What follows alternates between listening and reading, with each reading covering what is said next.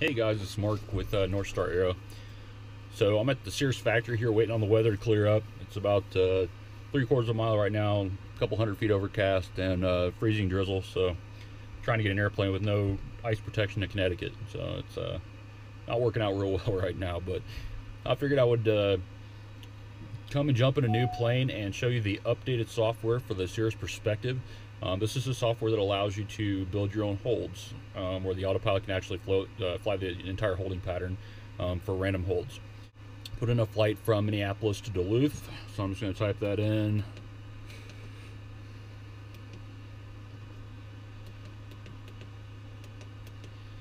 And we'll put Duluth in there as well.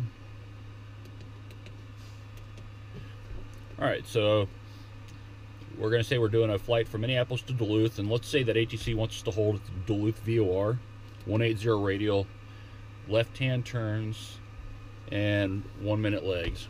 So we're going to go ahead and put that in. Um, so normally, before this software, um, we would have to go ahead and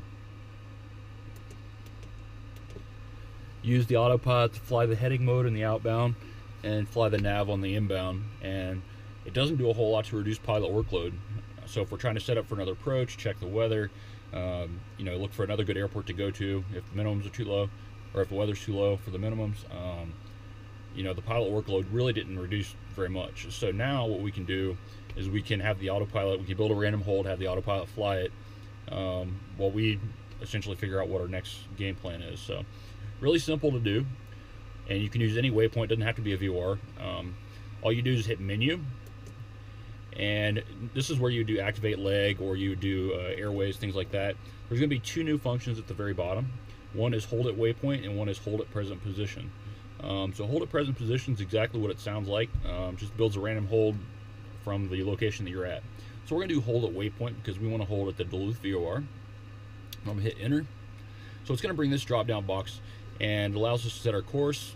So I'm to go ahead and set our course in here. We said we want to do uh, 180 and we're going to hold on the outbound. All right, and one minute legs, so we could also change this to distance if we wanted to. Uh, we'll leave it on time. Um, we'll do left-hand turns. And then at the bottom it allows you to put your UTC time in, so I'm just going to say 5Z. All right, now it puts the hold in our flight plan. So if we go look at the map here, you can see that the hold is now in the flight plan. The autopilot can fly the holding pattern um, just like it would if we were doing a missed approach. So it makes it really helpful, um, reduces the workload. It's just a fantastic thing to do. You can also build user-defined waypoints and utilize those to, to do your holds off of. Um, so it gives you a lot of flexibility. You know, even if you're VFR and you just want the autopilot to uh, maintain an area while you're, you know, I mean, you could be looking at something on the ground. There's a lot of different, you know, functionality, different things you could use it for that uh, it makes it such a good thing. But for IFR pilots, it, it it's a really great great upgrade. So um, this is supposed to be it's it's delivering on all the new aircraft. It's supposed to be available at some point um, to upgrade the older perspective airplanes. Um, they've been saying that they were going to do it since April, so I don't know exactly what that timeline is as of right now. Um, it's currently December of 2014, so hopefully it'll be before too long. But at least now you'll know how the uh, the basics of loading the the random hold in and how to utilize it. All right, guys, uh, fly safe out there. Make sure to visit us on Facebook at uh, facebook.com slash northstaraero.